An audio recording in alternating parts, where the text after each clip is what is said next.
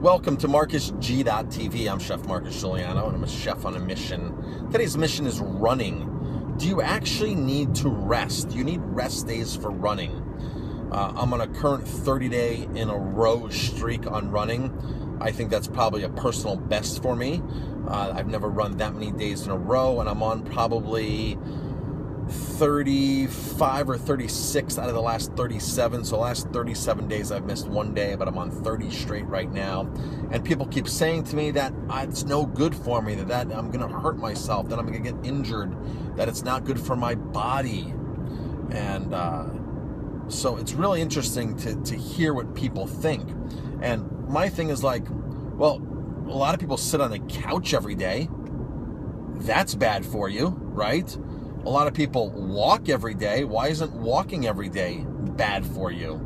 So it's just people's mindset where it's funny how society is programmed to think, you know, oh, you know, if you juice five apples and this and that and have a, a pound of greens a day, that's excessive and that's not good.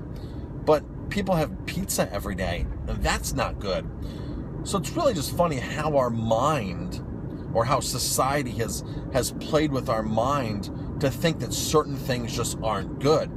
I'm sorry, but running, running is extremely good for the human body. We are born to run. We're designed to run. Now, some people don't know how to run properly, and I know that may sound ridiculous to, to the to a novice or to a non-runner, but a lot of us aren't taught how to run, and we just assume that we know how to run because it should just be a natural movement for us.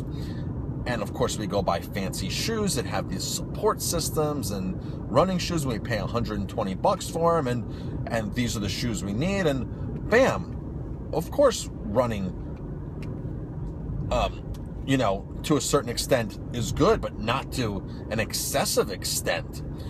So the bottom line is, if you run properly, if you have proper form, and imagine this: imagine if you're jump roping Imagine jump roping on your heels and landing on your heels every time. You're going to get injured. That's going to happen pretty quickly because you're just landing and pounding and pounding on your heel. And that's painful. You're going to probably jump rope for, I don't know, 30 seconds and say, This is uncomfortable. And if you did that every day for 30 seconds or a minute or two minutes like that, all of a sudden you'd start to get aches and pains up your whole body, your knees, your back. Um, it, it would be it'd be a disaster. Now imagine jump roping. Imagine a boxer, how boxers in the rings, they're all on their toes and they're prancing on their toes. Imagine jump roping on your toes. You're very light and it's just very springy and very natural. And you're using your Achilles tendon, which is actually a shock absorber in your legs, to basically give you bounce and, and absorb the shock. Now imagine running like that, okay? People, are, when I explain this to people, people are like, "Oh my gosh, I had no idea that there was a proper way to run." And of course, I go back to I have these support shoes that are supposed to help me.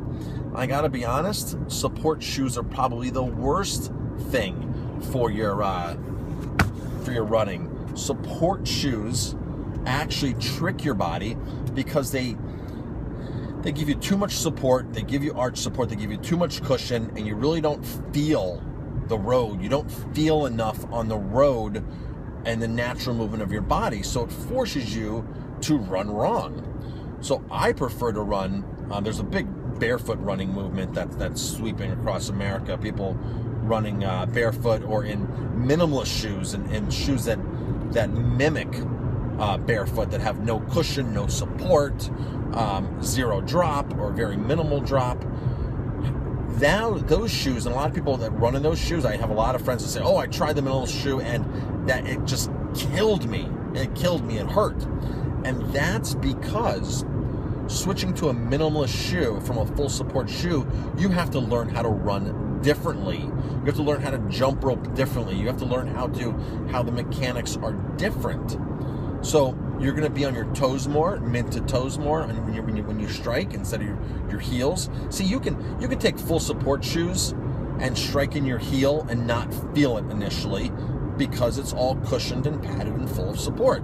But if you start heel striking in a minimalist shoe, in a shoe without that support system, without the cushion, the padding, the arches, you're going to feel it right away. So you have to basically lean forward in your run, make sure you're prancing around, just like that boxer. Picture that boxer, okay? Wow, there's another bald eagle here. I've seen three bald eagles today. Amazing. Saw a small one when I left my home this morning, just cruising right on over the street through the stream. It's amazing. I've never seen uh, three bald eagles in a day before. I saw two bald eagles uh, about a month or so, about a month ago. Saw two bald eagles dropping my son off skiing. Wow, amazing here in upstate New York. I can remember as a kid, not to get off topic, I can remember as a kid um, not seeing any bald eagles for years. And it's just amazing. I was always outside on my bike and out in nature. Now, as an adult, uh, I see a, a, bald eagle a month here in upstate New York. I'm not sure if there's a population explosion of bald eagles, if they're coming back, or what exactly, or if I'm just maybe looking for more. I'm not really sure, but they're really such graceful animals. And I've seen several of them swoop down into the stream or into a lake and grab fish and like and fly off with the fish and actually eat the fish. It's been a, just a, just a, a unique, uh, interesting graceful experience to see these bald eagles, how they naturally just fly and swoop. So, back to running, talking about being natural. So, you're pounding your heels with these support shoes and you're not realizing it.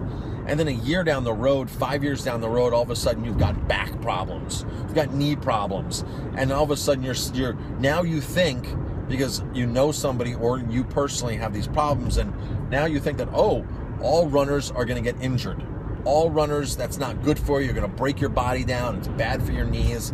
And that's the way the society is taught. Marathons used to be won barefoot up until the 60s. I mean, Nike came out with this running shoe, this full support running shoe, late 60s, early 70s, whenever they came out with it, and it basically created a whole host of problems. It created a whole industry of sports industry, in sports injury industry. Uh, and it's just, it's amazing because it's basically tricked our bodies. When you see small kids that are one, two, two, three years old, four years old, and you watch them barefoot, it's amazing just how free they flow. And then all of a sudden you put them in shoes. At a certain age, your shoes get support, and just everything goes downhill. My son, quick story about my son. My son's always been a barefoot minimalist. Loved five fingers. He's run half marathons in five fingers. He's done his best times in five fingers. All of his shoes he's always bought are very minimal support. We were trying on shoes last year, and uh, the guy who we went to just threw. He knows what he likes. Threw a pair. Threw, I said, "Go, Justin, try these shoes on." They were full support shoes. Said, "Now run around the store." I got to tell you, my son who was very athletic, very agile, uh, just a totally around, all around gifted ath- athletic person. Ran his first half marathon at six years old at 2:30. He put these full support shoes on and ran around the store, and you could tell he was clumsy, totally like off on these shoes.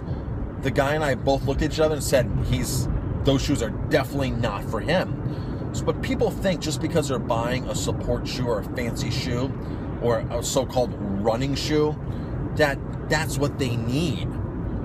And it's, it's, it's a shame that that's our mentality. So if you run properly, if you eat properly, proper diet, very high alkaline diet, very uh, low inflammatory diet, lots of liquids, lots of greens, and if you proper diet and proper proper running, proper form is a world of difference. So I'm on 30 straight days right now. Um, I know friends, I personally know people that have run 365 straight days. And of course, they might be just doing a couple miles a day, but they've gone the whole full calendar year running every single day. And then when you look at these massive endurance athletes um, that will run like coast to coast, that will run two, 3,000 miles and they'll run every single day. They'll run a marathon a day. They'll run two marathons a day. It's insane. The Iron Cowboy just did 50 triathlons in 50 days straight. That means it's a 112 mile bike ride, a marathon, 26 miles, and then swimming, whatever the two and a half kilometers, three, whatever the swim is, two kilometers, three kilometers, every single day for 50 days as he put his body through that. Our bodies are very resilient. Our bodies are very um, uh, inclined, built for this endurance. But if you're doing it wrong, you're going to break your body down. That's the bottom line. Break your body down. It's going to be painful. It's going to be miserable. And then you're going to tell everybody else how bad it is for them to do something like do something good for their body. And you're convinced that that's not the way that the human body is designed. But yet, you look at people back to the couch, you see people sitting on the couch every single day. I'm sorry, that's not how the human body was designed to sit on the couch. We're designed to move. You stop moving, you start dying. The human body wants to be put in movement, movement, movement. That's the bottom line. So, my goal now is to run 43 straight days. This is my 43rd birthday this year. Uh, 43 straight days is my goal. My mindset is okay. I used to go out for six miles a day, and that was that was my mindset. Now my mindset is, hey, if I don't have time to run, at least I can sneak two miles in. Which this week I did two days of two miles because I was traveling to Florida for a conference. You travel all day in a plane. You get off. You check into your hotel. You go to a meeting, and all of a sudden, where's the day gone? Right?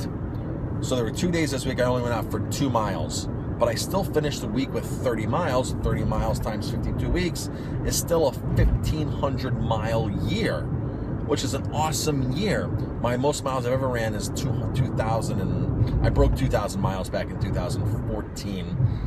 2015, I did 1,200 miles, or maybe a little more, about 1,200 miles. Yeah, 1,200 miles I did, almost 1,800 miles. So it was an off year uh, for me. But 30, you have to figure out what's manageable what is a manageable thing for me to do? Even if I go out for one mile, it's still going out for one run. It's still a day of being active. It's a day of doing a run. It's a day of doing something positive for my body. So that's my new mindset. 43 straight days. Who knows what will happen after that? Uh, I love running. I'm sort of addicted to running.